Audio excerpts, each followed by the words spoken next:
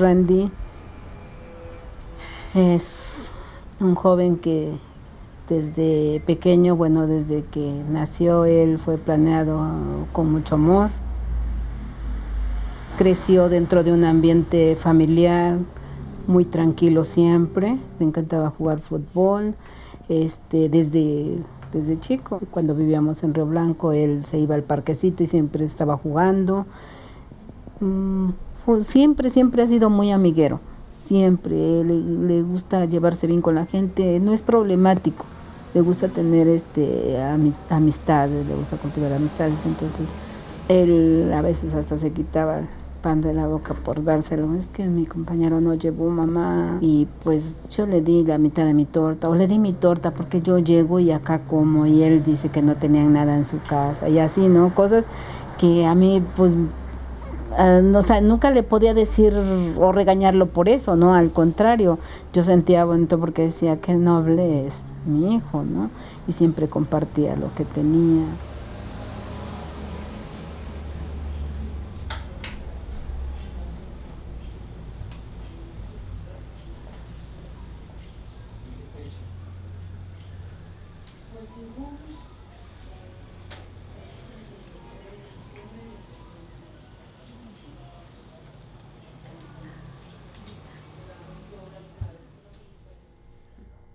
Mi chaparrito como yo le digo, un niño de, de un metro ochenta y cinco, complexión muy delgada, talla 28-30,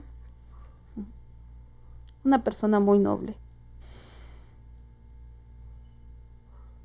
Que él en alguna ocasión me, me dijo, mamá, yo tengo que hacer lo correcto cuando algo esté mal hecho porque se lo he aprendido de ti, que hay que enfrentar las cosas con la cabeza en alto. Me sentí muy orgullosa de sus palabras. Enojón como su madre, este, pero muy... No le gusta estar quieto, muy vanidoso. Uy, él no salía por nada ni por un chicle, sino ya se bañó, ya se peinó, ya se puso casi casi de pipa y guante. Le gusta mucho el fútbol, tiene como que esa, ese don o esa personalidad de, dirigir. Le hacen caso.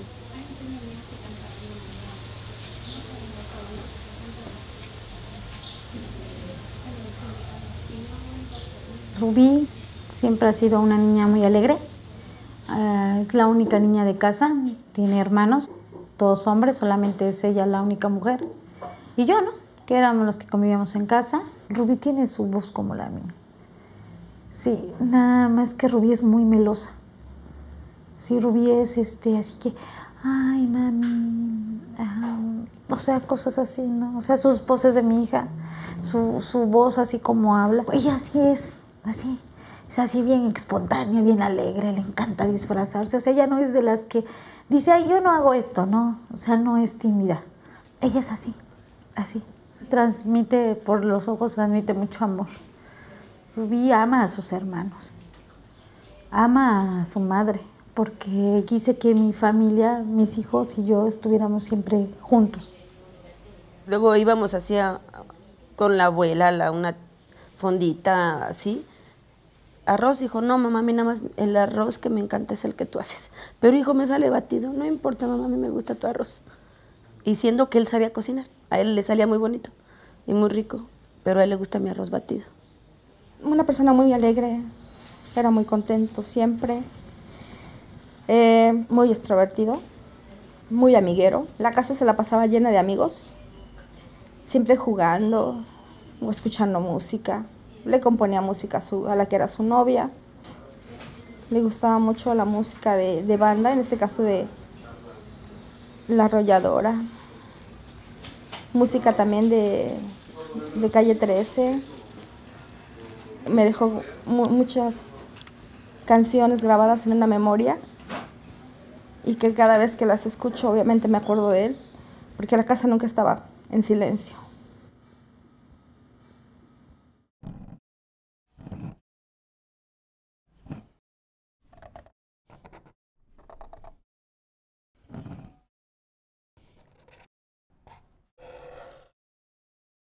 Mi hijo se llama Yael Suriel Monterrosas Jiménez. Desapareció el primero de septiembre de 2012. Salió de la casa aproximadamente a las diez y media de la mañana. Dijo que venía al centro por unos libros. Todavía desayuna conmigo, se despide de mí. Todavía me acuerdo que lo regaño porque traía una mochila y dentro de la mochila traía unas latas de spray porque le, le gusta el graffiti y lo regañé porque pues estaba todavía en esos entonces, en el 2012, muy penado que trajeran latas de spray los chicos, ¿no? Porque pues, recibían multas y amonestaciones aquí en Orizaba.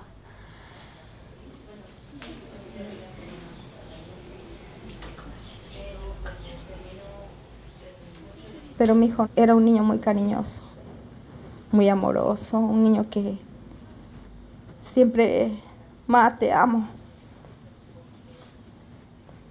Y esa, ese ma, te amo ya no lo he escuchado. Mi hijo se llama Randy Jesús Mendoza Campos. El día 2 de agosto, que fue sábado, mi hijo salió como de costumbre a trabajar. Cuando yo llegué, él ya se estaba bañando. Le salió, le di de comer. Yo lo vi ocho y media, él salió casi nueve y media de su trabajo, nueve y veinte por ahí. Dijéramos que una hora después de que yo lo vi, o sea, fue la última vez que yo supe de mi hijo.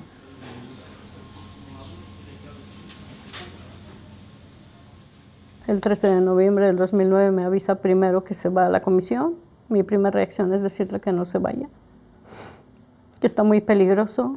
Y él me dice, es que yo te quiero tener como una reina. Tú fuiste mami y papi y la verdad ya mereces que yo o uno de mis hermanos te saquemos de trabajar. Déjame trabajar este tiempo. Yo no te había dicho nada, pero hice el trámite para tu casa de Fobiste. Están a punto de entregarme las llaves y yo te la quería regalar de sorpresa. Es tu casa, pero ya no me da tiempo. Solo te pido que ahora que te llamen vayas tú a recoger las llaves. Y yo le gritaba todavía que yo no quería casa, yo no quería nada. Yo quería vivir en esa casita tan humilde, pero feliz con ellos cuatro. Elvis Axel Torres Rosete. Él tenía en ese entonces 17 años. Yo la última vez que lo vi fue el 26 de diciembre del 2010. Mi hijo estaba internado en una clínica de rehabilitación por consumo de drogas. Eh, ya le faltaban tres días para, para concluir. Bueno, prácticamente ya había terminado su tratamiento, pero como terminó el 28 de diciembre del 2010 el tratamiento, el dueño de la clínica me dijo que no me podía entregar a mi hijo en esas fechas por ser este, festivas.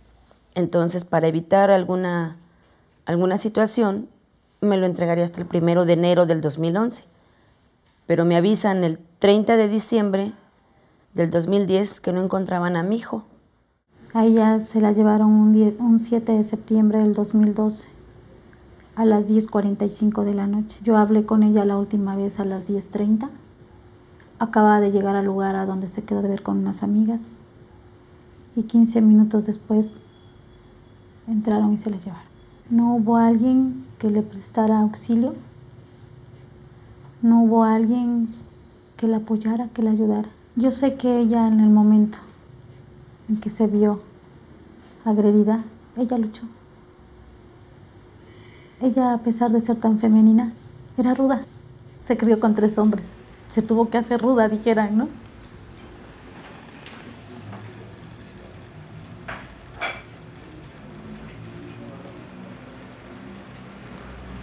Entonces le pregunto que cómo se van a ir y me dice que por sus propios medios, que porque los altos mandos. Entonces yo le digo, pero ¿cómo por sus propios medios? Siete policías federales armados, con armas cortas y armas largas, hijo. Mami, pues así le dijeron, y las órdenes, es una instrucción y se acatan. Mi hijo se va el 16 de noviembre del 2009, sale del centro de mando en Iztapalapa y como a las 4 de la tarde yo le volví a marcar a mi hijo ya no me contestó sus teléfonos.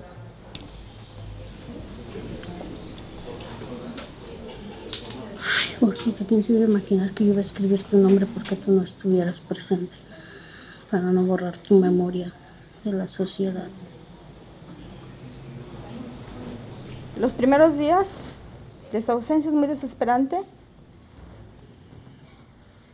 Buscas por todos lados. Vas en la calle, a plena luz del día, y te salen las lágrimas. A la gente la ves a través de una neblina, a través de tus lágrimas. Y es cuando piensas, no debo llorar, porque si lloro no voy a verlo si es que me lo encuentro. Las noches están llenas de más tristeza. Yo veo la luna, veo la soledad y yo le pregunto, Rubí, dime dónde estás. Cuando veo algún lucero, quiero pensar que ese lucero también ella lo verá. Y le mando bendiciones, le mando buenos deseos y le digo que aún sigo buscándola y la voy a encontrar. Es frustrante ver que no, no encuentras nada. Y dices, es una pesadilla, es una pesadilla. Y esa pesadilla no termina.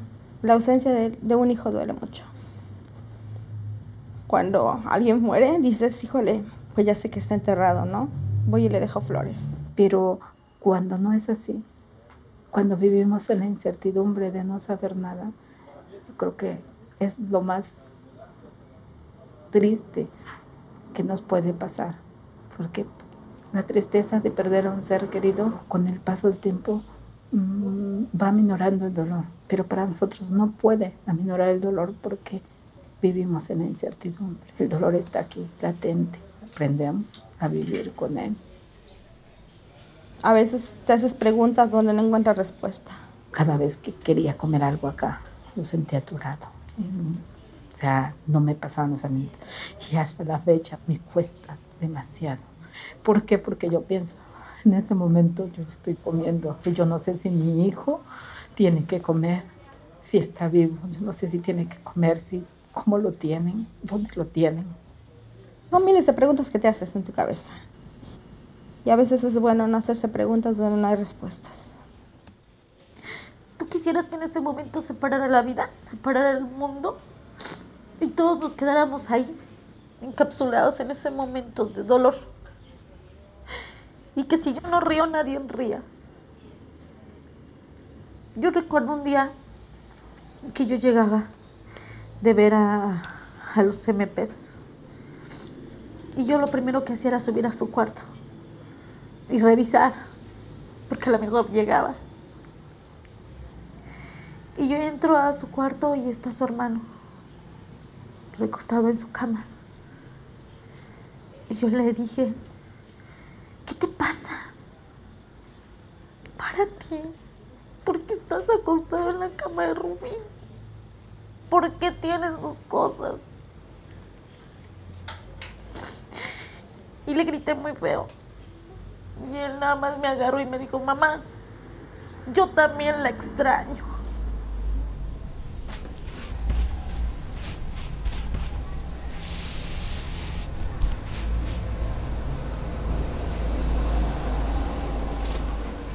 La verdad, siento que se me desgarra el alma porque mmm, yo evité, o sea, al principio haga de cuenta, no sé, dos, tres meses, yo llegaba de trabajar y lo primero que hacía era aventar mi bolsa y, meterme a su recámara de él. Si esas paredes hablaran, dirían como yo saqué mi dolor en ese momento. Yo haga de cuenta que yo llegaba, me hincaba y le suplicaba a Dios, le ofrecí mi vida entera a cambio de la de mi hijo. Y lloré, supliqué, golpeé la pared, hice de todo. Su última ropa que él usó yo todavía la, la puse en la cama, ya está toda sucia y polvienta, pero yo no la he querido lavar porque, o sea, yo sentía que él guardaba la esencia de mi hijo ahí. Después de cuatro meses yo ya no quise entrar, era un dolor muy fuerte ver todas sus cosas y demás. Hasta el año ocho meses yo volví a entrar, pues desde las 8 o 9 de la noche y yo ahí me amanecí llorando, pero eh, empacando su, su, ropa. Y no, por no porque quiera yo creer o pensar que, que él ya no existe o que ya no va a regresar, porque la esperanza siempre la guardo, ¿no? De que él un día va a regresar.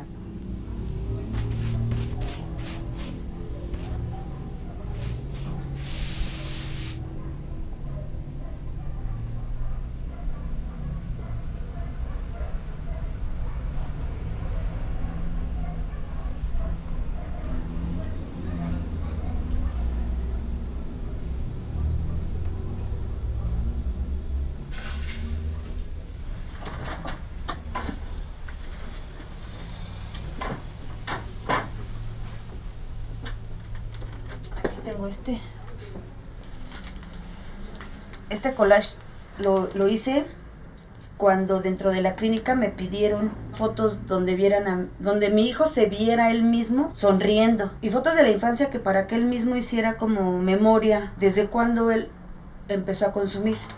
Y es por lo que hice este aquí vestido de scout. Él empezó de lobato de chiquito desde como a los 5 años. Terminó como a los 14 dirigente pero ya siguió toda la, la trayectoria este aquí salió de tortuga yo le hice el traje que cuando nació, bailando en la escuela, pescando truchas en un... ¿Cómo se llaman estos? Bonji. Aquí con una perrita que, que, se- que nos mataron. Aquí él recuperó este perrito y lo, lo, lo salvó. Me duele, a mí me duele ver esto.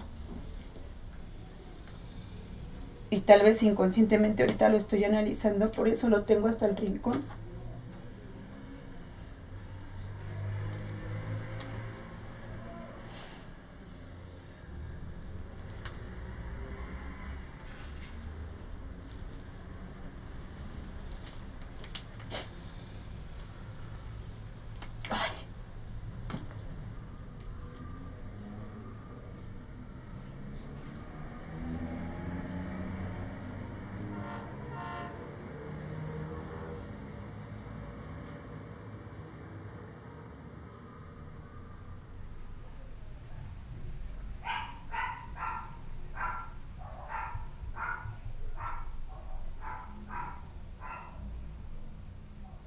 Yo no podía entrar a la recámara de mi hijo porque era ver su cama, lo que él había pintado con sus latas, de ver cómo dejó todas sus cosas organizadas, su ropa, poder rescatar una memoria que había tenido en su celular, ver sus fotos de lo que él hacía, sus grafitis, ver sus libretas donde él pintaba horas y horas, donde me decía, gorda, ¿qué colores le combinan a esto? Yo era la que le llevaba sus pinturas, sus plumones, para que él estuviera ahí haciendo lo que le gustaba, el dibujo, su arte urbano. Se la pasaba en la computadora. Cuando veía yo ya estaba escribiendo porque él quería también ser rapero. Hacía sus composiciones a como él creía, escuchar su música. Entonces cuando rescaté esa memoria y la puse en mi celular y escuchar sus, sus canciones, yo me torturaba. Yo me dormía llorando, abrazando su ropa, su, gorra que me dejó. Una gorra que le gustaba, no la soltaba. Revisar sus libretas para ver si había algún mensaje escrito o algo que me pudiera decir por qué se fue. No había nada.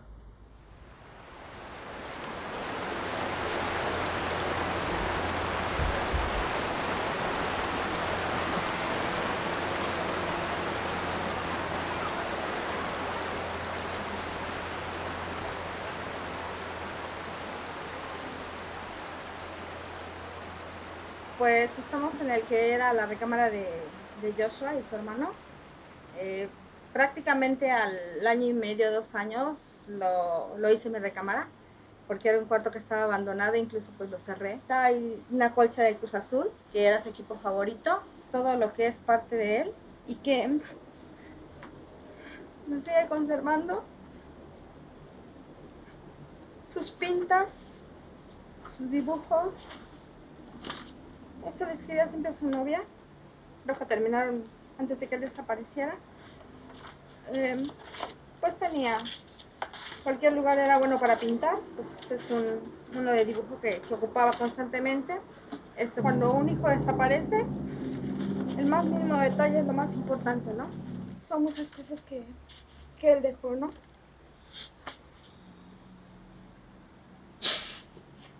Estas camisetas huelen a él.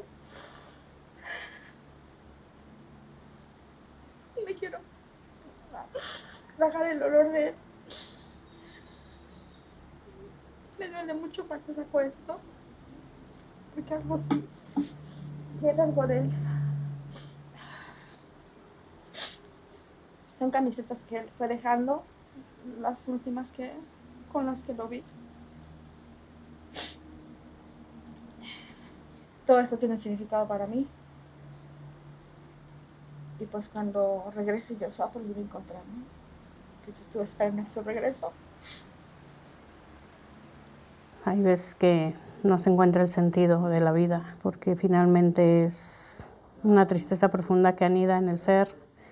Y por más que ríes, al menos yo trato de, de estar bien ante mi familia, ante mí misma, pero es mentira. Pues es una máscara que se va cargando en la cara nada más, porque después de que te quitas esa máscara de al término del día y regresas a la casa, pues es muy difícil porque finalmente esa máscara se cae y vuelves a, me vuelvo a ver al espejo y, y veo que realmente la ausencia de Luis Ángel está marcando en mi cara la agonía, el cansancio, el agotamiento y pues mis ojos muchas veces no tienen luz, ¿no? están opacos. Hay veces que pues las lágrimas ya, ya no salen.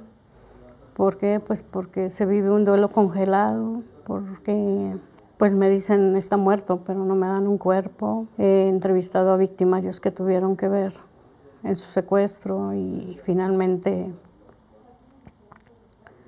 al llegar a mi casa vuelvo a revisar esas hojas donde narran cómo, cómo le quitaron la vida y digo, ¿por qué tanta deshumanización? ¿Por qué aniquilarlos los unos a los otros como seres humanos? ¿En qué momento perdió el hombre la capacidad de entender que no puede estar haciendo tanto daño, tanta maldad en la tierra?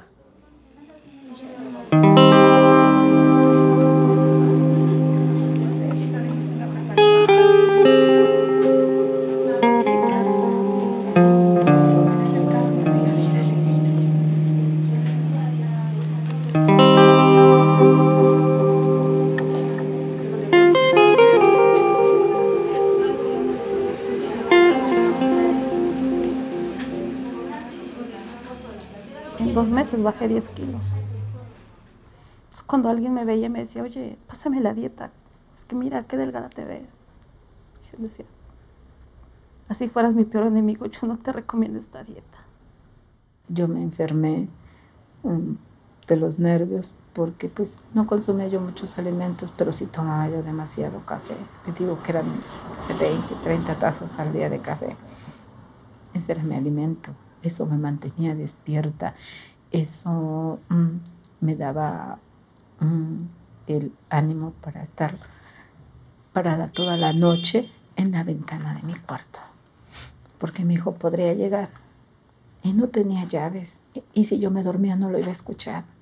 Me daban las 5 de la mañana y, y, y yo aún con los ojos así, esperando ver llegar a mi hijo.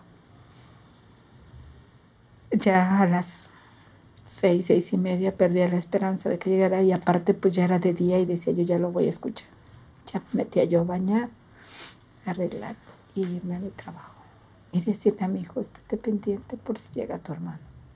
Pero así fueron todas las noches durante más de, ¿qué le puedo decir? Cinco, seis meses, hasta que me enfermé y ya no pude más.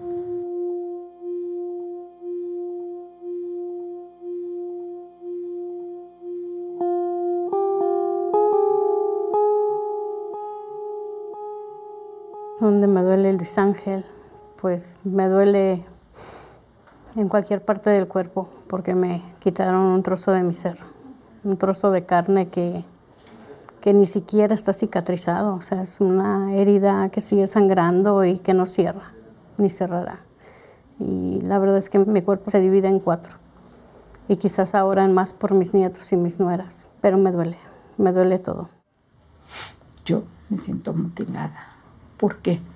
porque me hace falta un miembro.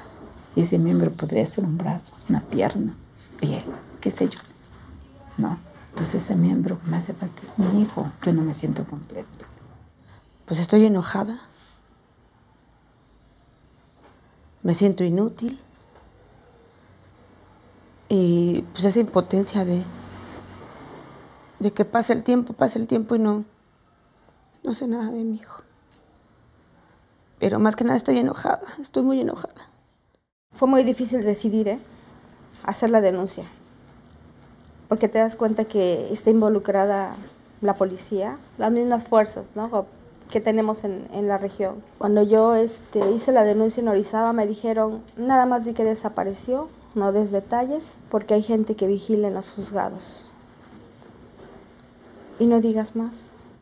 Se llega finales de enero del 2013 y en el periódico veo una nota de, de un joven desaparecido por las fechas que él desaparece. Su amigo. Su amigo Joshua también desapareció en las mismas fechas que él. Fue donde le dije a mi marido, aquí no hay, algo no está bien. A veces el chico se quedaba a dormir en la casa y su mamá lo andaba buscando. A, a Yael Suriel, del Kobe. No, es que el Kobe se va a quedar a dormir con nosotros. Ándale, que se quede. Aunque le dijera, no te lleves con él porque pues él está más grande que tú, no, él es mi amigo. Él es mi amigo y este y me voy a seguir llevando con él. Y obviamente ellos eran los que se iban a pintar, ¿no? Ellos se iban a pintar, a grafitear y e incluso después me enteré que hacían trabajos entre ellos para sacar dinero de que recogían fierro viejo, eh, iban a vender y tenían dinero para la pizza y cosas de jóvenes. Aporté todo lo que tenía yo que aportar.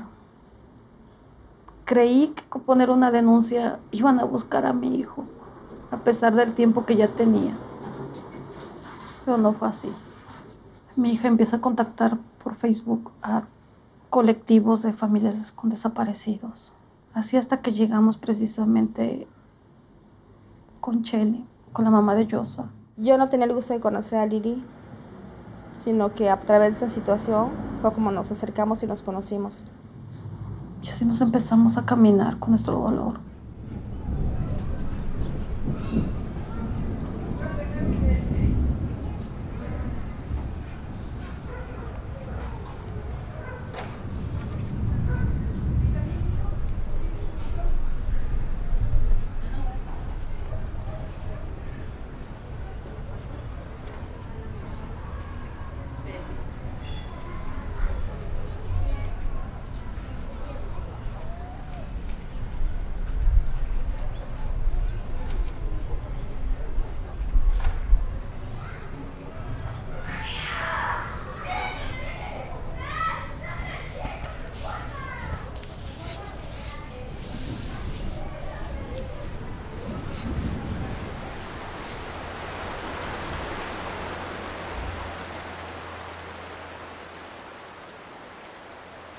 Pues fue el día 23 de octubre. Eh, yo estaba, acababa de llegar de gimnasio, estaba yo en mi casa, ah, tranquilamente, cuando una amiga me habla y me dice, oye, Cheli, ya sabes que viene Duarte, está en el teleférico, va a filmar unos anuncios, unos comerciales, porque se supone que acababan de darle el título de pueblo mágico a Orizaba, pues me vine sola. Me vine sola, traía una pancarta de mi hija, una, una foto de mi hija de, de, desaparición donde ofrecen una recompensa por ella. Y fue en ese momento en que él venía, venía bajando del teleférico y, y había muchos policías, no había casi gente. Así esta rampa venía él seguido por su esposa, por sus hijos y por unos camarógrafos. Y aquí precisamente fue donde le mostré la foto de mi hija y él me ignoró. Yo solamente le dije, señor gobernador, bienvenido a su pueblo mágico donde nos desaparecen a nuestros hijos. Y le mostré la foto de mi hija. Y me la jaló en el momento que me la jala su escolta, él se va, él se va, él se va con su gente hacia allá. Y fue cuando a mí me molestó, me enojó y, y me fui tras de él, no me fui tras de él. No se vale, usted viene con su familia. ¿Y la mía dónde está? No, ¿lo ven cuándo? No, permítame. Permítame, pues parece. No, no estoy escuchando. Ah, no, señor gobernador. No se escuda. Sus fiscalías no sirven de nada. No nos ayudan en nada, señor. ¿Sí? Aquí está su pueblo mágico, donde nos desaparecen a nuestros hijos. Usted como si nada. No, claro que sí, señor. ¿Sí? Y no se burle. Quite su sonrisa. Vivo desde ese tiempo, señor. ¿Sí? Ah, sí, muy bien. ¿Cuándo? ¿Cuándo nos puede recibir, señor? Voy a decir al fiscal general para que- Ay, por favor, el fiscal, el fiscal es lo mismo que ustedes.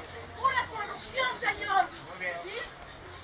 Y ríase, ríase, que no le toque a su familia.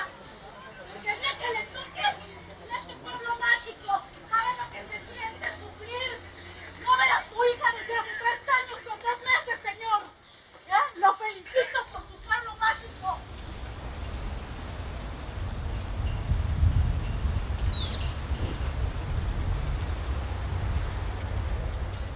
¿Y qué nos dice el gobierno? ¿Qué nos dice un presidente municipal? Son hechos aislados.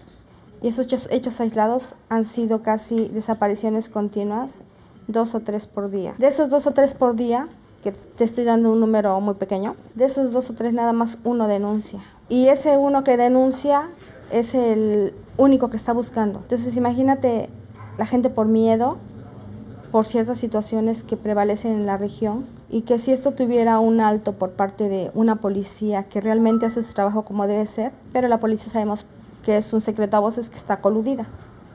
Entonces, esto sigue. Y mientras no se tomen las medidas necesarias y mientras no se detenga a, los, a, las, a las personas culpables que están haciendo todo esto, va a seguir. En esos años que él se desapareció, se desaparecieron muchos jóvenes en el 2012, 2013.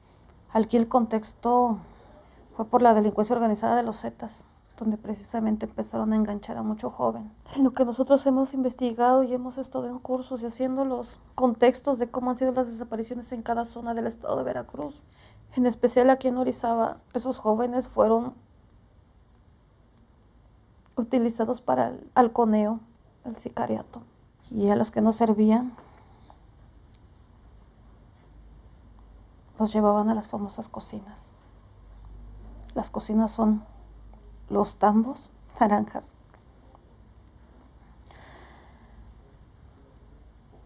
Donde matan a la persona, se dice que la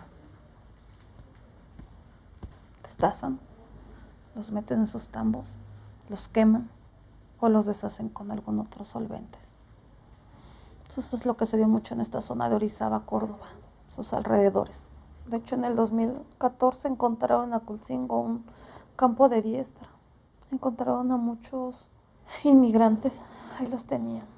Todo esto se lo debemos a nuestra dichosa autoridad. Ellos fueron los que dejaron entrar a la delincuencia. Ellos fueron los que les dieron pase abierto, que operaran. Y desafortunadamente no tuvieron control. Se les fue de las manos. Yo creo que el control ahora lo tiene la delincuencia y no nuestro gobierno.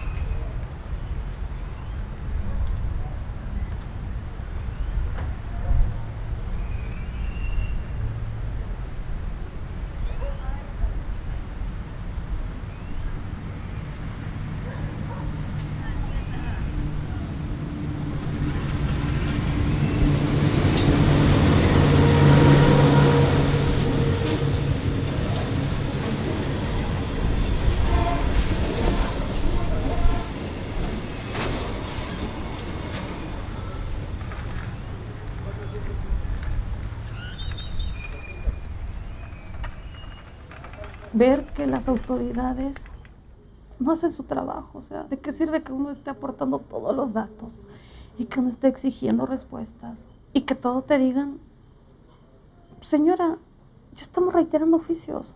Que reiterar oficios no quiere decir que estén buscando a mi hijo. O sea, los datos que aporta uno que pudiera ser una línea de investigación, ahí se han quedado. Bueno, yo le llamo me maquillan los avances.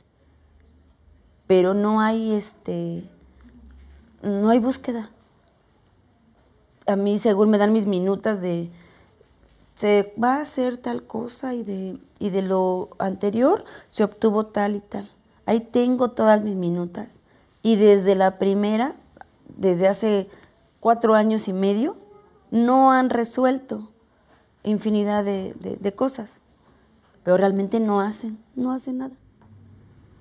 Al paso de los días que yo empecé a buscar a Rubí, me di cuenta de su simulación de búsqueda. Me di cuenta de su corrupción, de sus nexos con la delincuencia organizada. Es más, yo creo firmemente que el gobierno es tan corrupto que la delincuencia está ahí, desde ahí opera. Por eso ellos nunca nos van a ayudar. No tienen ni la más mínima voluntad de ayudarnos, a mí y a los miles de desaparecidos que hay, no tan solo en el Estado, en todo el país. Aquí estoy, estoy luchando y no me pienso dar por vencida. O sea, vivo con el dolor, con la tristeza, pero también tengo rabia, desesperación, porque las autoridades no hacen nada. Entonces, lo que ellos este, están evitando hacer, yo lo estoy haciendo, yo estoy buscando a mi hijo. Y no es un hoyo donde yo quisiera encontrarlo.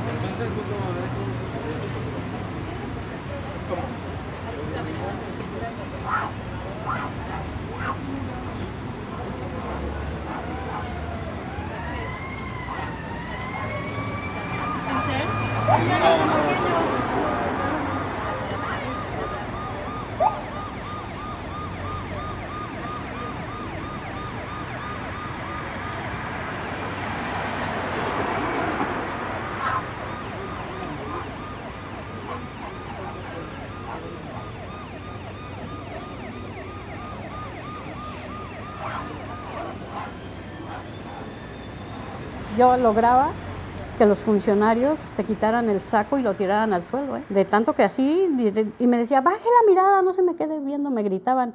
Y le decía, ¿por qué no lo voy a ver? ¿Qué oculta en su mirar? ¿Por qué le tiene miedo a, a mis ojos? Es que tienes la pesadilla y les contestaba, no, discúlpeme, la pesadilla no la tengo yo, la pesadilla la tienen ustedes mientras que yo viva. Fueron momentos muy difíciles así de estar peleando.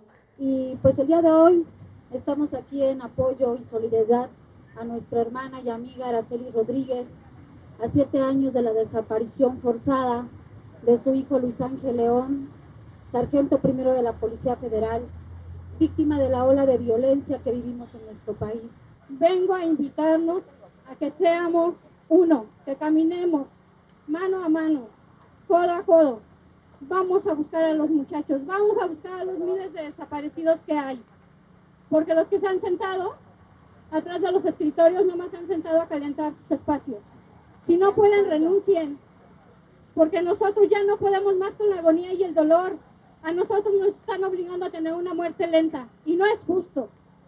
Queremos verdad, queremos memoria, queremos justicia, porque tenemos dignidad. Solo les quiero mostrar que sí traigo la línea de tiempo que yo elaboré. Hay más de 10.900 hojas en los expedientes, muchas más. Pero esta es mi línea de tiempo. Yo sí puedo investigar y yo sí puedo sacar cada servidor público en que pudo haber sido sancionado. Son muy poquitas hojas. Si gustan, los invito a sentarnos a, a ver mi línea de tiempo, señores investigadores. Hoy, el uniforme de Luis Ángel, uno de los uniformes que él portaba con orgullo, con convicción, está aquí en la silla, pero está vacío porque le falta su cuerpo. Se robaron a Luis Ángel, se robaron su identidad. Así están todos sus uniformes en casa, esperándolos para que él regrese. Luis Ángel León Rodríguez, presente. Juan Carlos Luis Valencia, presente. Pedro Alberto Vázquez Hernández, presente. Víctor Hugo Gómez Lorenzo, presente. Bernardo Israel López Sánchez, presente. Israel Ramón Ucia, Presente. Jaime Humberto Ugal de Villeda. Presente. Sergio Santoyo García. Presente. ¡Viva los queremos! Esta situación que está viviendo el estado de Veracruz, Orizaba, es muy peligrosa. Pero tenemos que vivir. Que el miedo no nos detenga ante tantas situaciones que nos están pasando. Y yo siempre le decía a mi hijo que el miedo es el peor enemigo del hombre. Y desafortunadamente a veces tiene uno miedo, pero ese miedo te hace jalar para adelante y sacar adelante lo que, lo que uno quiere encontrar, ¿no? Y seguir buscando a nuestros hijos, en este caso a mi hijo. Así ha sido el, peregrinar seis años de, de la búsqueda de Yael. Encontrar más familiares, empezarse a agrupar, empezar a tener trato con autoridades de distintos niveles, tanto federales, estatales, hasta que ya Araceli empezó a conformar el, el colectivo. Empezó con seis, siete personas, se empezaban a hacer marchas de exigencia, de visibilización, de enfrentarnos a un gobernador indolente. Por ellos, hoy estamos aquí manifestándonos, porque vivos se los llevaron y vivos los queremos. Nosotros vemos cómo funciona la ley TAN en los Estados Unidos. Aquí no. Es una verdadera vergüenza que nos quieran engañar diciéndonos que en el estado de Veracruz no pasa nada, que aquí Veracruz y Orizaba estamos seguros. Estamos seguros de que algo va a pasar, pero que se nos haga justicia, no lo creo. ¿Vivos se los llevaron? ¡Vivos los queremos!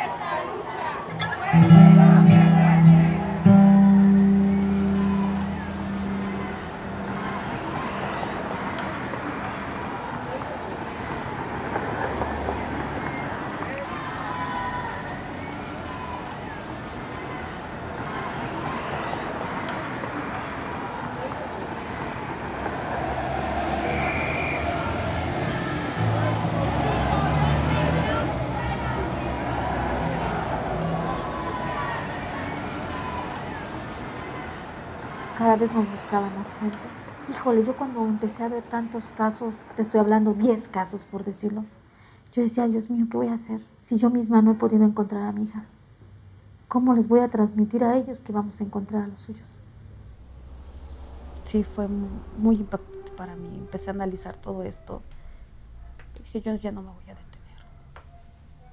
Se hacían las marchas con Cheli los 10 de mayo, a exigir, a gritar. A ver que mi nieta, que le robaron a su tío, se lo desaparecieron, era también gritar por él. 10 de mayo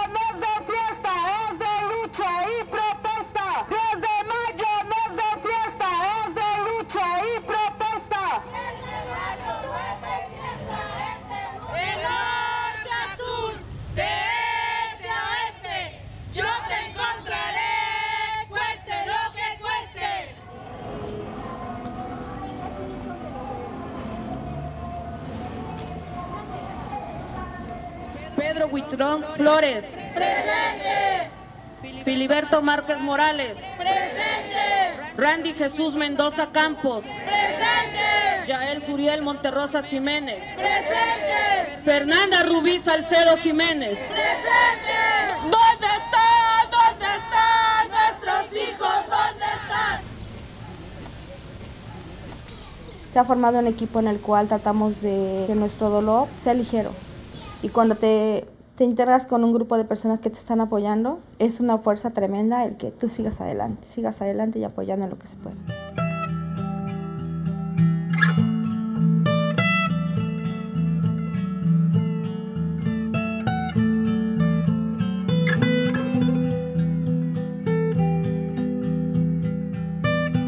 Una, dos. Ni cortan, ¿eh? Pero bueno. Fraude. Uh, no, acá, acá,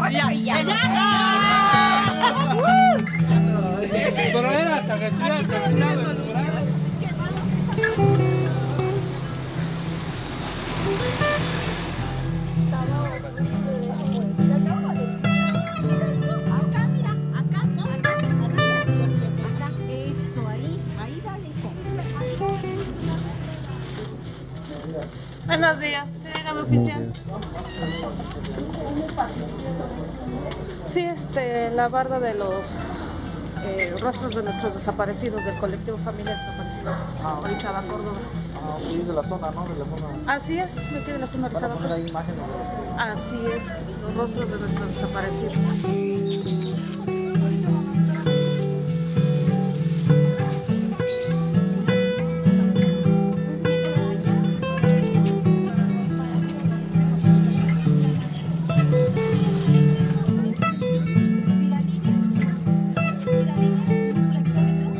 Es que esta situación no hubiese querido conocerlos. En una desaparición, en que hay que buscarlos, en que hay que ver hacia dónde vamos a, a dirigirnos para buscar a nuestros hijos. Y son situaciones totalmente difíciles y que nos han unido como grupo, como personas, como amigos, y que puedes llorar y no se van a burlar de tu dolor. Y no te pueden juzgar ni criticar. Cuando unes a tanta gente, sí hay mucho dolor, mucha tristeza, pero también hay sinceridad, comprensión. ¿Y sabes qué? Ellos se vuelven tus verdaderos amigos. Ellos se vuelven tu familia. ¿Sí? Porque yo la puedo abrazar libremente, hablarle, decirle, hoy me siento de la chingada. Otra gente pues se retiró, nos dejó de hablar, ¿no? Por miedo, por el que dirán. Empezó a esta situación de que, oye, pero tu hijo qué hacía, a qué se dedicaba si ya no iba a la escuela. Yo prefería ya no contestar. Si yo con permiso me daba yo la media vuelta y vámonos. a lo mejor, como muchas personas dicen, ¿no? Ay, es que esa señora está loca, piensa que su hijo va a regresar o, piensa que su hijo está vivo, pero es mi dolor. Solamente yo sé lo que siento, ¿no? Esa persona que habla o que critica no puede saber el dolor que yo estoy viviendo. Pero también para decirles que sabes que si te llega a ti a pasar, evítate todo este camino de dolor con las autoridades. Es el momento que se te desaparece tu hijo, luego, luego es ir a poner tu denuncia, que te tome tu muestra de saliva para tu perfil genético, todo lo que se debía de de llevar a cabo. es desgastante este caminar y, y no quiero que, que a la gente le siga pasando, pero pues que hagan conciencia de la situación y que hablen con sus hijos y que hay gente que, que dice, no, es que a ellos les pasó por que andaban en malos pasos. Y, y, o sea, la gente sigue criminalizando aún a pesar de todo lo que están viendo. No sé por qué se atreven a decirlo o a lo mejor les consta, no sé, pero eso es criminalizar sin saber a ciencia cierta lo que pasó con ellos. Y no se vale, porque al menos yo puedo decir por el mío, él es un joven que siempre tuvo aspiraciones, pero, pero por las buenas, o sea, él quería superarse porque tiene una niña la cual está sufriendo ahorita su ausencia. Sabíamos que las autoridades decían que si se desaparecía una jovencita era porque se iba con el novio o porque se iba con el amante. Si era un jovencito era porque estaba metido en algo malo. Pues realmente, al final de cuentas, son personas que, que alguien nos los arrebató, ¿no? Así fuera el peor delincuente del mundo, creo que es una persona la cual merece ser buscada y si hubiera incurrido en algo malo, pues hay autoridades, no hay leyes para que lo juzguen. ¿no? Y en esta vida no podemos juzgar a la ligera, porque nadie tiene la certeza de que no les va a pasar. Cuando pasó lo de mi hija, mucha gente, o casi toda la gente se hizo un lado de mí. Y dos personas hasta ahorita que yo te puedo decir, de esas que criticaron muy fuerte, me pidieron ayuda después, años después, para buscar a un hijo desaparecido. Y en una conversación con mi hijo me dijo, mami, ¿y tú las vas a ayudar? Si tú sabes cómo se expresaron de mi hermanita. Y en ese momento, ¿sabes qué dije? Sí, sí las voy a ayudar. Porque sus hijos, sus hijos no tienen la culpa de la opinión que ellos hayan dado referente a este tema. Sus hijos también merecen ser buscados. Dentro de ese camino, yo no voy a hacer la misma que ellos porque yo sé quién soy y porque yo sé quién es Rubí.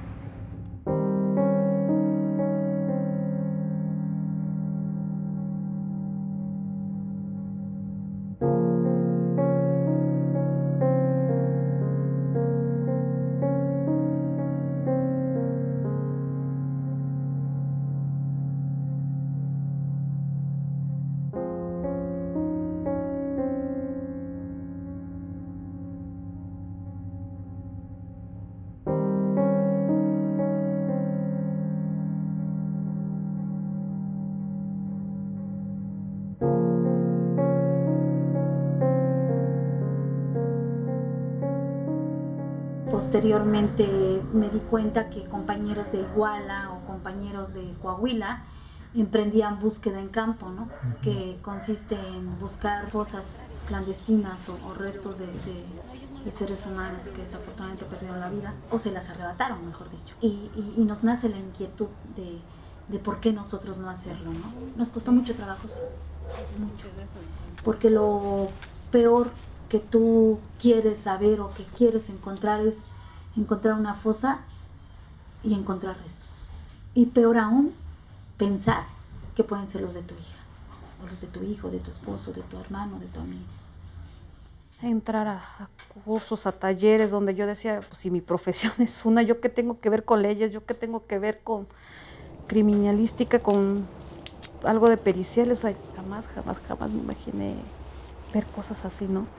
Pues nos fueron preparando para ir bus- buscando en fosas clandestinas, ¿no? Que saber cómo rascar esa tierra, cómo poder encontrar algún indicio de, de lo que es, del horror que hay en el estado de Veracruz, ¿no? Saber que, que Veracruz es la fosa clandestina más grande del- del país. Al inicio del 2016 empezamos a, a- a prepararnos para comprar nuestros materiales, nuestros materiales de búsqueda, rústicos, que consistían en palas, en picos, en varillas, en cuerdas, en chaparreras para las zonas donde hay mucha maleza y puede haber víboras, un sinfín de cosas. Y pues nosotros tenemos que buscar a nuestros familiares de, de una y de otra manera, ¿no? Yo en mi caso soy buscadora en vida, en muerte, en fosas clandestinas. ¿Por qué buscarlos ahí? Porque soy realista, me duele y me duele mucho. Puede ser posible que, que ya no esté con vida. Pudiera ser que sí, ¿no?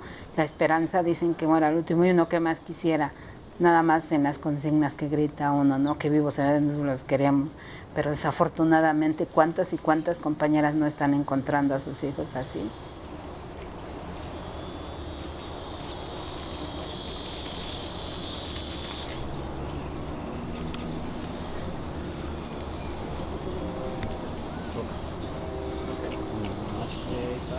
Piedra. Mire, le digo cómo. Sí, sí. Así, mire, de al lado, así. Hicimos un grupo muy pequeño, de cinco o seis mamás, que somos las únicas que, vamos a los puntos. Primero hacemos una logística del lugar, si tiene entradas y qué salidas tiene, qué gente es la que opera por esa zona, si tenemos algún tipo de aliado o no tenemos aliados. Eh, mis compañeras saben perfectamente que no llevo mamás que no puedan caminar este, largos tramos o mamás que tengan algún impedimento, por ejemplo, a veces sus piernas o que padecen de, de algún tipo de enfermedad. Cero celulares, una se encarga de lo que es el video, otra se encarga de, de apuntar la hora, el punto, de medir. O sea, hemos aprendido todo eso, a llevarlo. No arriesgamos al aire.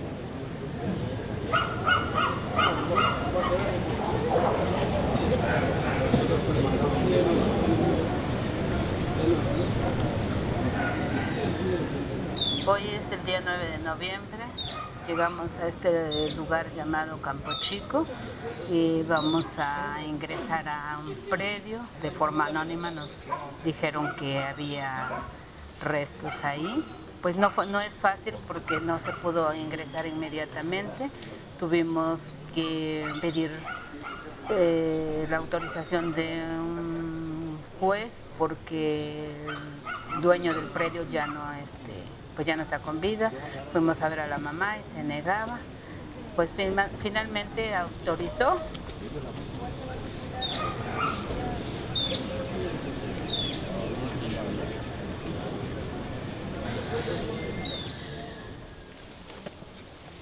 De hecho, se- antes estaban negados a todo esto. Nosotros, pues hubo lugares en donde fuimos, este, dijéramos que fuimos solos, ¿no? Y pues esa vez, no sé, tengo entendido que, que fueron, fue mucha gente porque el predio era o había sido de un este, com- comandante de Estado o algo así. Ya no se siguió trabajando porque definitivamente no hay personal, lo que no hay son peritos, es un problema, ya no quieren que saquemos nada, porque pues no hay lugar a donde depositar lo, que nosotros encontramos. En lo personal, pues no me agradó tanto esta búsqueda porque no, no estamos acostumbradas, no estamos acostumbradas a que ya estamos preparadas a entrar, a arriesgarnos, buscar exhaustivamente, quitarnos esa espinita de que alguien nos dijo, hay algo ahí, nosotros queremos cerciorarnos.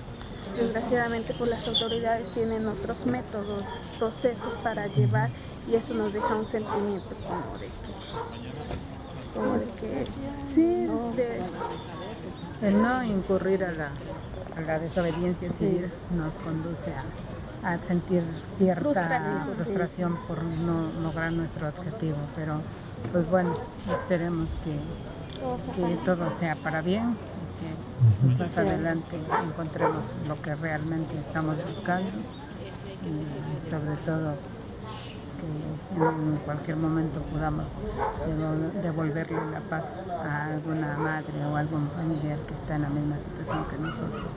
Este, así se va a empezar a trabajar, lo van a procesar ellos, este, se van a elaborar los, o- los oficios de coadyuvancia y pues yo también este, voy a pedir el apoyo para PGR o para Policía Federal para que nos apoyen. Y en el otro punto que tenemos trabajando de Mayoapan, pues quieren hablar conmigo por algunas situaciones porque quieren encontrar.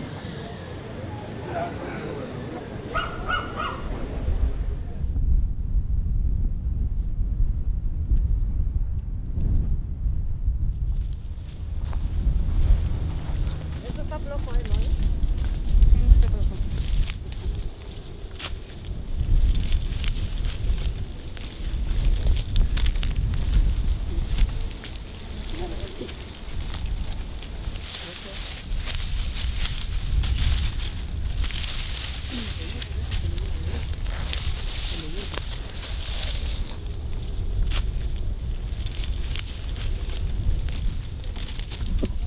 Bajada, Elo. Está más fácil la bajada. Puro patinar. Sí. Está más fácil. Pero eso también, por eso te digo que es que ya no nos dice nada, no va a decir que la dejamos sola. Pues yo las estoy esperando a ustedes. El comandante se bajó, pero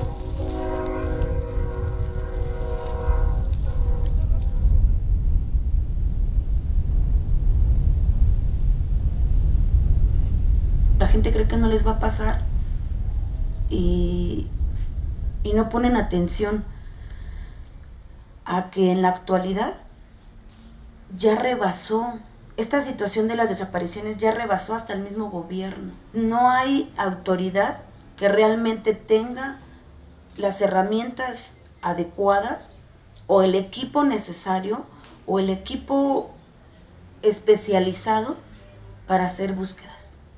No lo hay. Llevo más de seis años buscando a mi hijo y no he conocido institu- institución o servidor público que tenga ni siquiera las agallas suficientes para indicar o ordenar alguna acción. Las búsquedas han sido muy tristes, porque pues no, yo no me hago la idea de encontrar a mi hijo a cachitos, no me hago la idea de encontrar solo su dentadura y platicar con sus dientes, ¿no? Es muy fuerte, pero lo quiero hacer, porque yo sé que si eso es verdad lo que ellos dicen, Luis Angelia va a estar en paz y como yo también. Y entonces sí, tanto él como yo vamos a poder cerrar ese círculo de duelo congelado que tenemos. Porque él en los sueños me pide que lo ayude, que ya no aguanta más, que ya está muy cansado. Y yo me desespero mucho de no poderlo encontrar porque él me está pidiendo que ya quiere que lo encuentre su mamá. Y entonces, ¿cómo conjugas eso? Me lo pide en el sueño, pero pues yo nada más le digo, ilumíname. Dime por dónde me voy. Y te juro que lo hago. Pero mientras que eso sucede, Juan, yo no he dejado de buscar a mi hijo ni un solo, so- ni un solo día. Hoy me ves aquí, mañana me ves en Estados Unidos. Y a donde yo pueda difundir y hacer retumbar su nombre de Luis como se lo prometí, lo voy a hacer. Así es un proceso de búsqueda en campo. A través de anónimos, que la gente tiene bien darnos, que nos ubica más o menos dónde, allá caminar. Han sido pozos, han sido aventados a los ríos.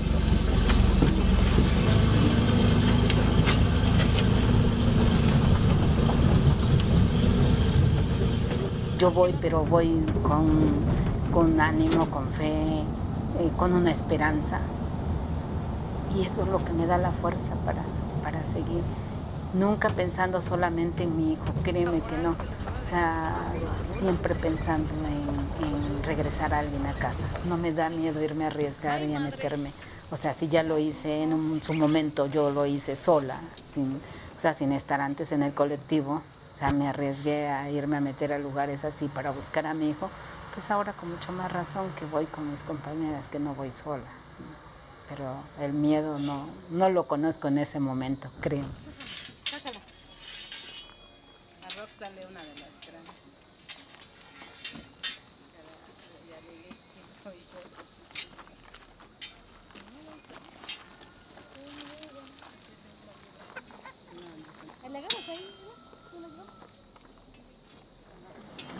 Que ahí vamos a estar, ahí vamos a seguir haciendo la exigencia y vamos a seguir este, buscando, ¿sí? Porque pues no nos podemos ir sin agotar, sin agotar todo lo que ya tenemos, todo lo que ya se empezó.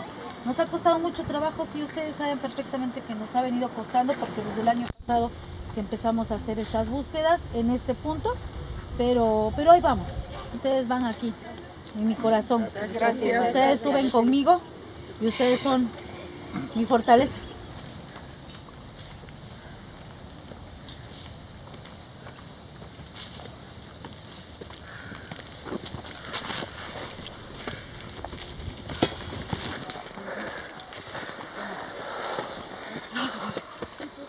Digo, ya falta poquito, Sí, como ya. tres cuartos de hora. Aquí tras lomita.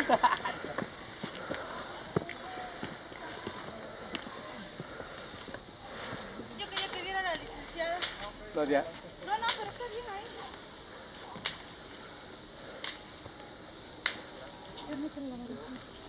Una de las grandes. Esta es una nueva, vamos a- Y todas están limpias, desinfectadas. ¿eh? Sí.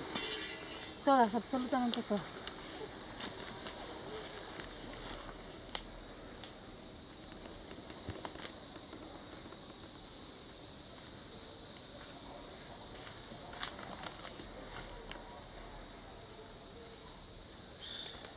Allá la balada.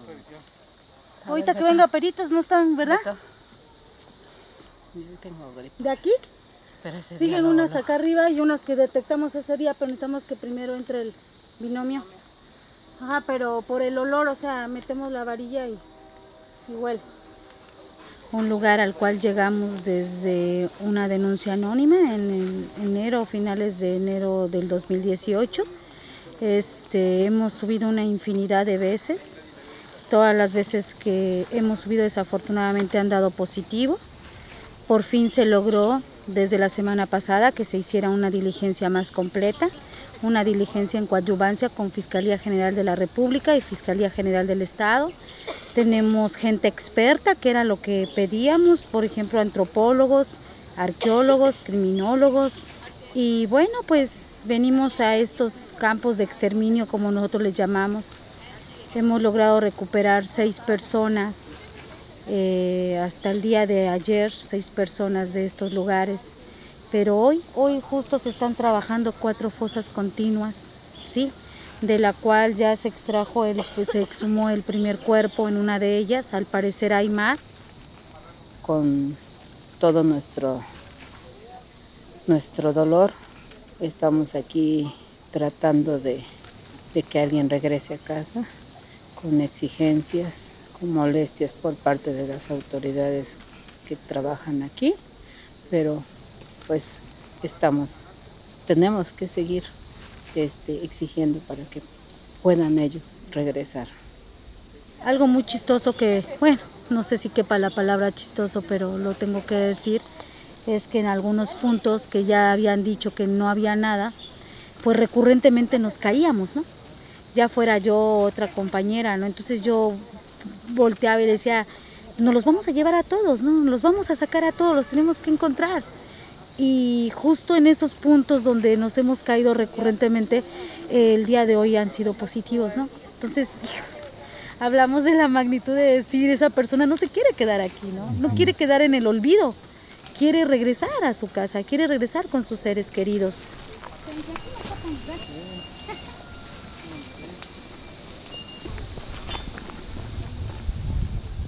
Cuando ya regresas a casa, eh, yo he llegado aquí a tu casa y, me he recostado, me he recostado y me he puesto a llorar. como.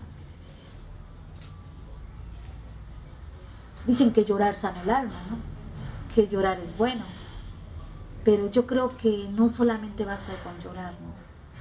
Sino que también necesitamos así como el acompañamiento de que que después de esas búsquedas, después de, todo eso, nos sentemos, lo hablemos y lo tratemos de sanar un poquito.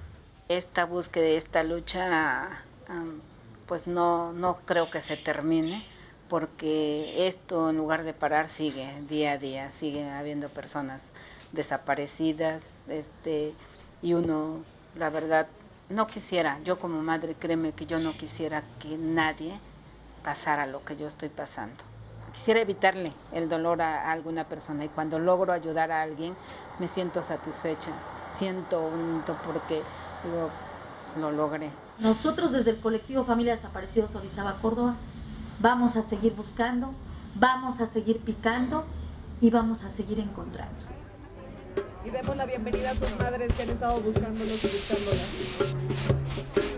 Podemos voltear un minuto para darle un homenaje a estas personas que desaparecieron en su trayecto por este país.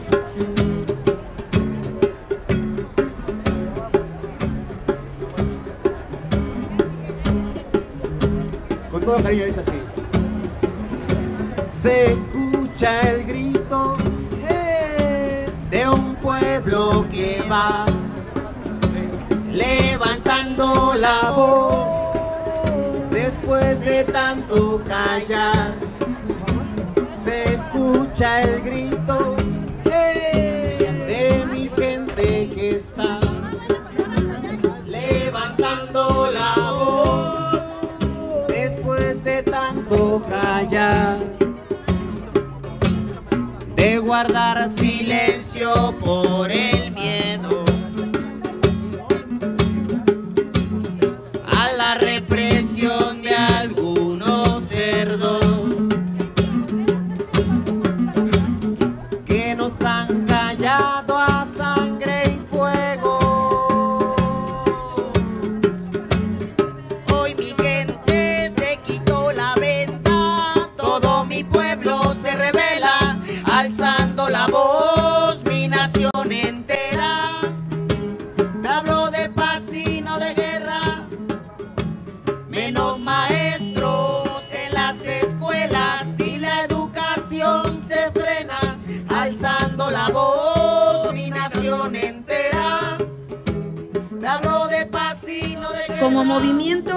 por nuestros desaparecidos en México, pedimos al gobierno mexicano que deje de disimular y reconozca el grave problema de las desapariciones forzadas y desapariciones por particulares que hay en, nuestro país y asuma su responsabilidad tanto con las madres mexicanas como con las madres centroamericanas. Para el Movimiento Nacional por nuestros desaparecidos en México, es de suma importancia este encuentro con la caravana de madres de migrantes desaparecidos, porque compartimos experiencias, compartimos la exigencia de justicia y de búsqueda. Por dicha también compartimos esperanza y sabemos que no estamos solas, que no importa la lejanía, el sentimiento de esperanza es el mismo.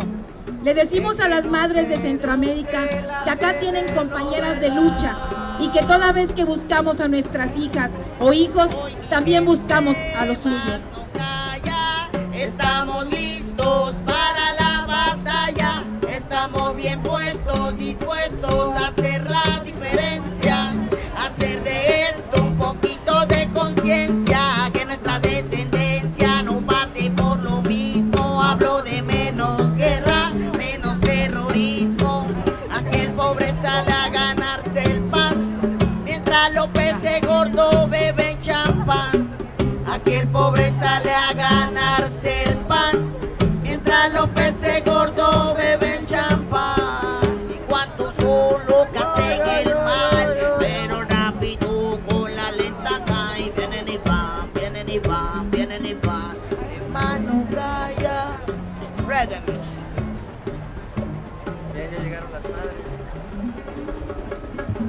Muchas gracias, muchas gracias. Ya llegaron las madres. Les pedimos a todos que le den el espacio para que puedan pasar.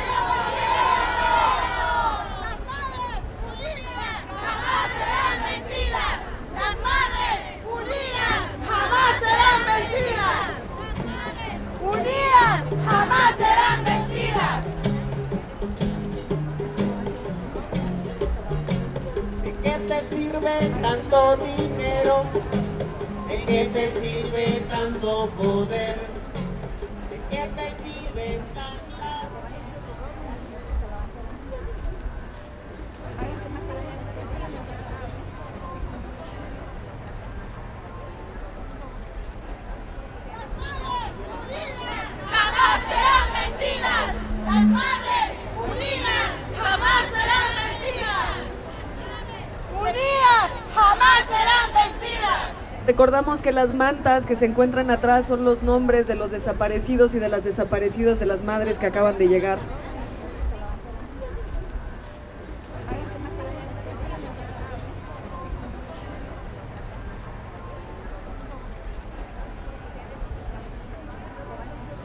Hoy es un día muy especial.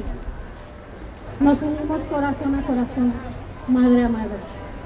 Sus pasos son nuestros.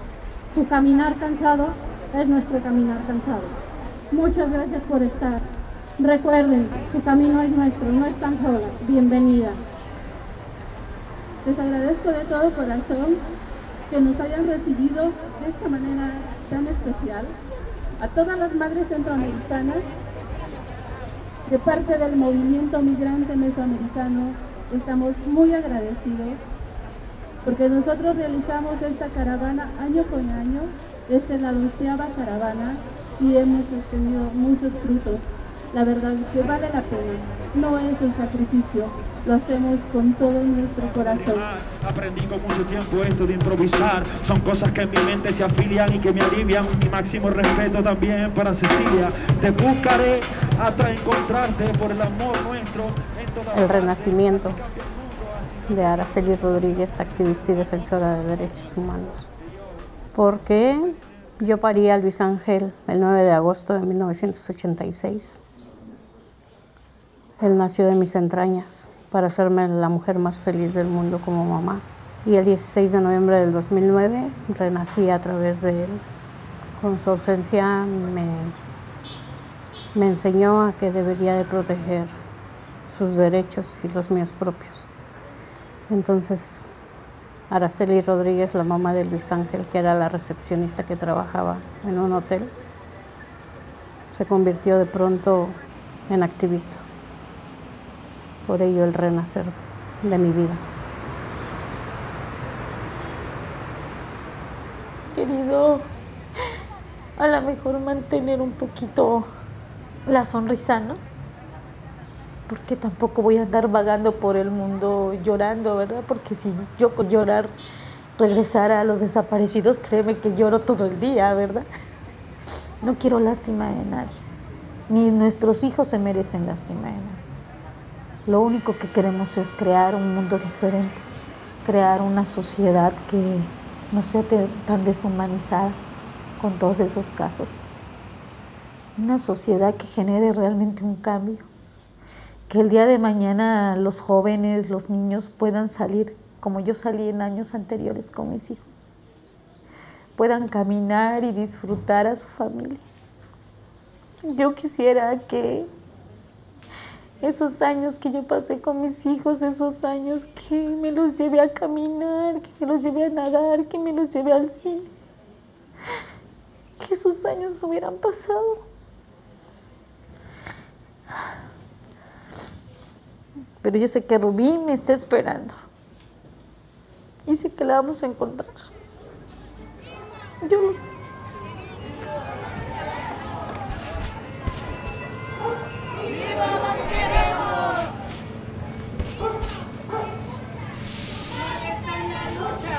Hijo, escucha, tu madre está en la lucha.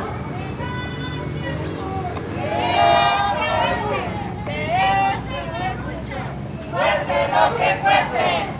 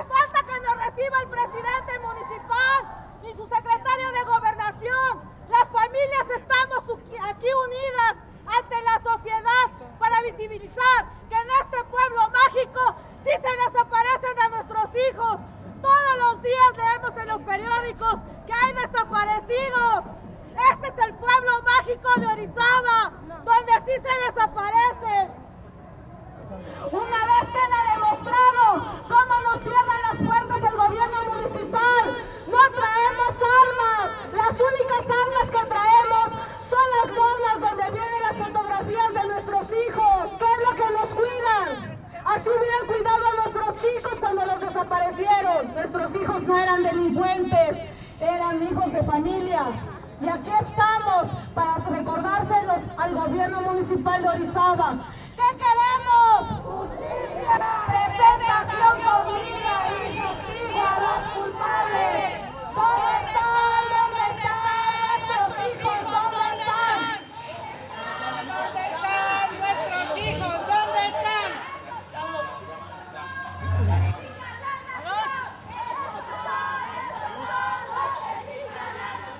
¿Qué queremos? Justicia.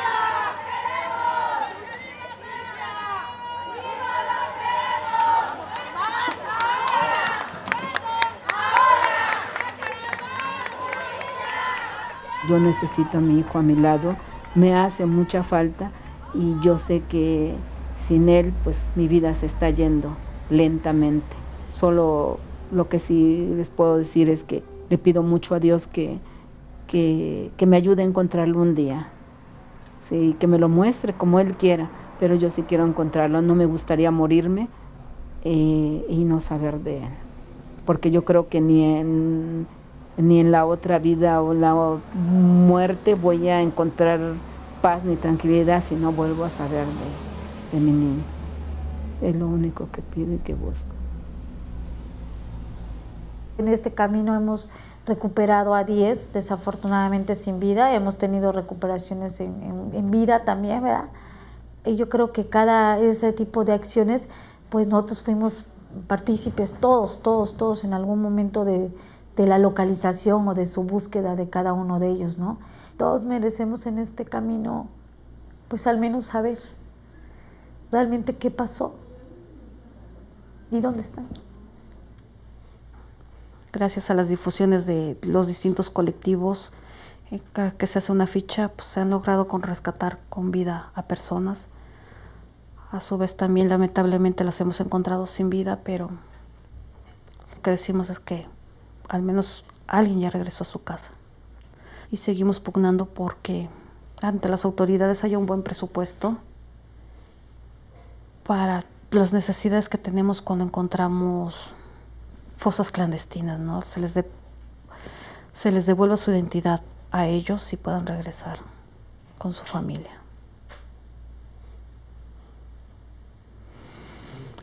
Y porque la lucha por un hijo no termina y una madre nunca olvida, hasta encontrarlos.